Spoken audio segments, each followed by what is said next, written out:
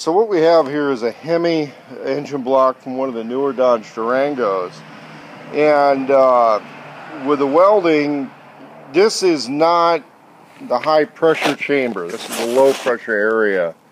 That uh, did this get hit? Is that what happened? Yeah, the one of the rod is broken. Okay, rod broke. And then hit. And it grenaded the edge of this. Yeah. And so that's been pulled out, and they're thinking if it's possible to weld this back together. Now, my opinion is no, and if it wasn't a Hemi engine block, I wouldn't even try to save it.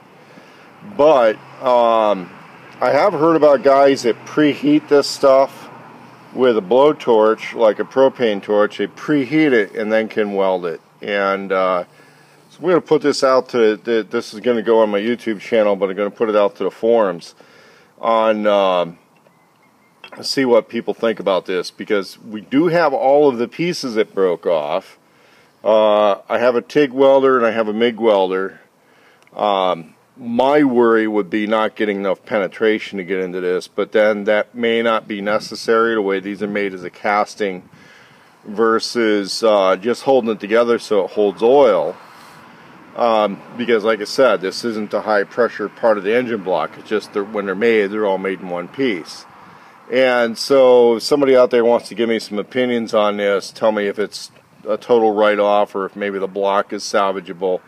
I think his plan is to put a new rod in and uh, see if it's possible to weld this engine block up.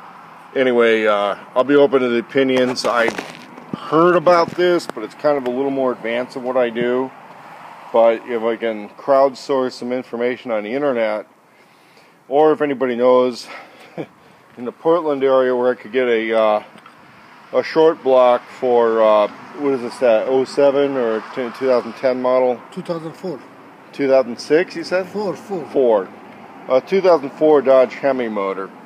Um, I'm open to suggestions on this